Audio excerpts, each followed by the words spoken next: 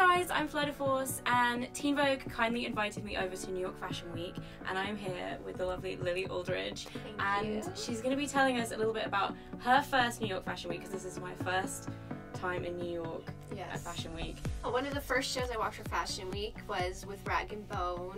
Um, it was super exciting. I was really nervous. Uh, I remember they slicked my hair like really down on my face, and I was wearing this burgundy, beautiful coat um, that they ended up giving me, which is so really nice of them. I know. um, it was yeah, it was just really fun.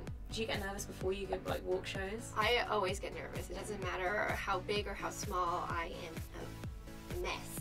One thing I've always wondered as well is like if you really do you ever like really not like the look? You don't have to say when, but like do you ever think like oh, I hate this? I feel like designers are really good about giving you they can like tell your confidence because you know like if you put on something you don't love you kind of like lose that luster Yeah. and I feel like designers are, are pretty good about matching looks to the girls They're like this isn't this isn't for you. yeah they'll be like that's not working and you're like it's Awesome.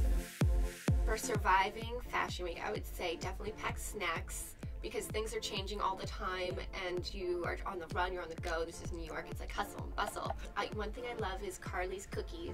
Yeah. you can get them and they're for charity and they're delicious and it's oatmeal and they're really um, nutritious. Where can you buy them from? Because I always wanted to try them. Momofuku, Okay. downtown you can get them. Another thing is that the subways get you places a lot faster than the car. Sometimes you feel like i'm gonna get a car and then like you're in the car for an hour heading uptown or in between shows and the last survival tip it would be um, to just have fun and go with it and go with the flow and go see people you probably wouldn't have never heard of or wouldn't have gone to. It's just an amazing week of so many different creative talents. So i think just enjoy every second So that's it. Have an amazing fashion week. Thank you, you and too. Thank you so much for joining me. If you guys want to see more awesome content from New York Fashion Week, you can either check out the rest of the Teen Vogue channel, you can subscribe to that, or there's going to be some on my channel as well, which is Fleur de Force. And make sure you follow Lily on her social media channels, Instagram and Twitter. Yes, yes. And we'll see you guys again soon.